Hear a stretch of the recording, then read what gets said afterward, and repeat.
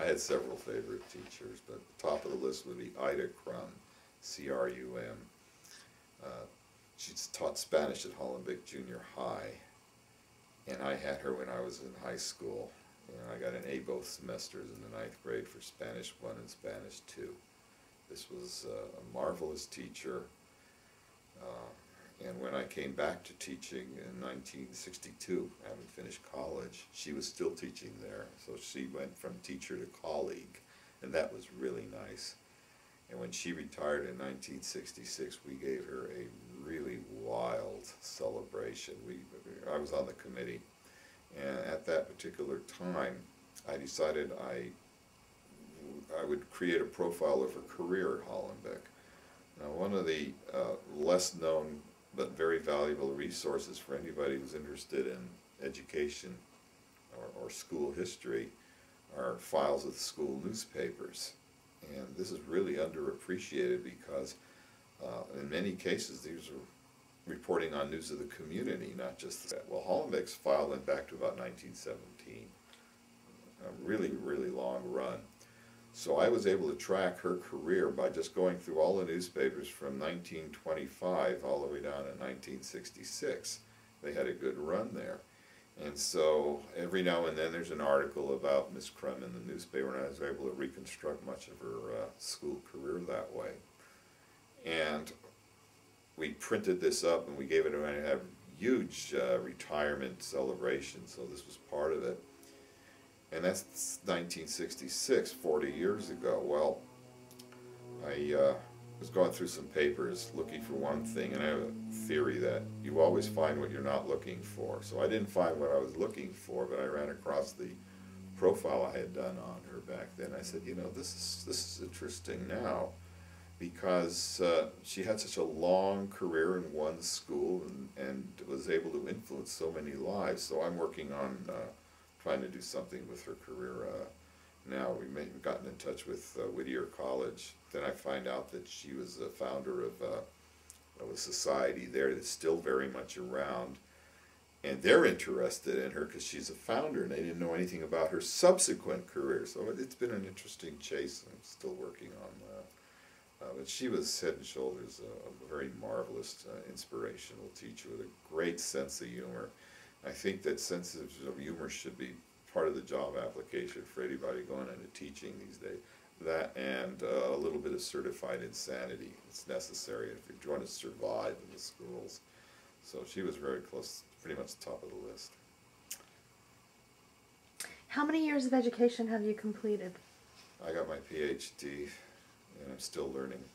I got my PhD in UCLA in 1970, but I am still learning. I, I, I, I have a, I may learn a little bit differently from students today, but I'm still in a learning process.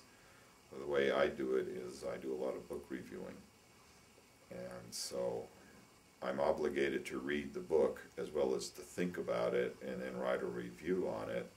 And uh, I encourage my students to do the same kind of thing because reading is, seems to be becoming rather endangered these days.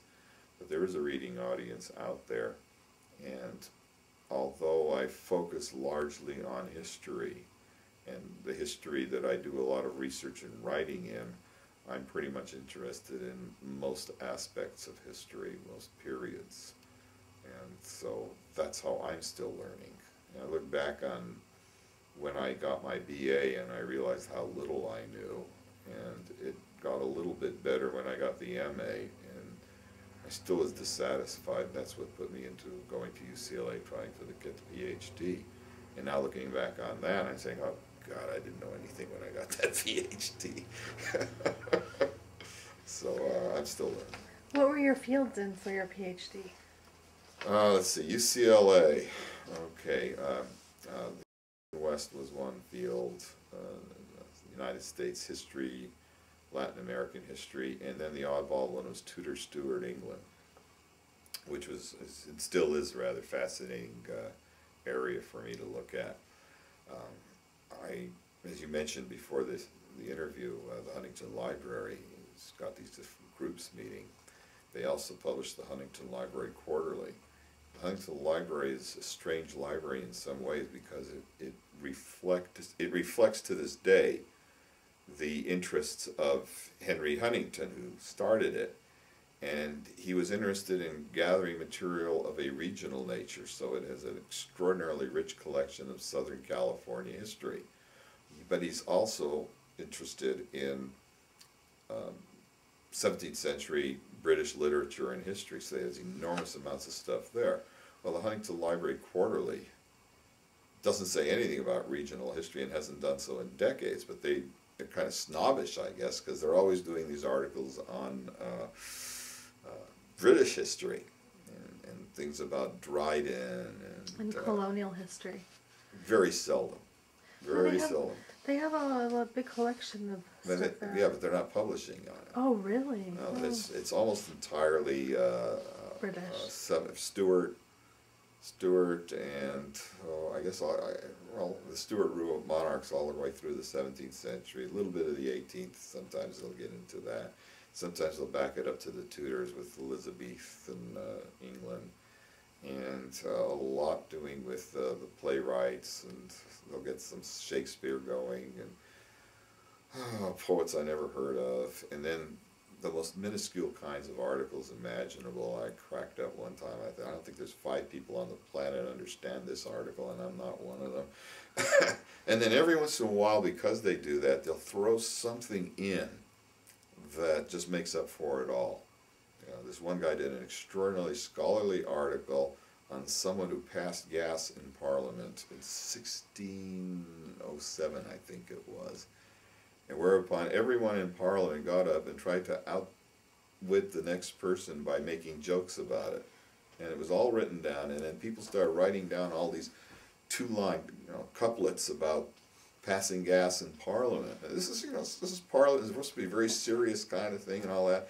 But this was the stuff that, well, like like you get on the internet. Hey, here's the joke I've gotten, and you send it to 20 of your friends. It just went around like wildfire. So, uh, you know, every once in a while they'll put an article like that in and say, all right, I'll keep reading it.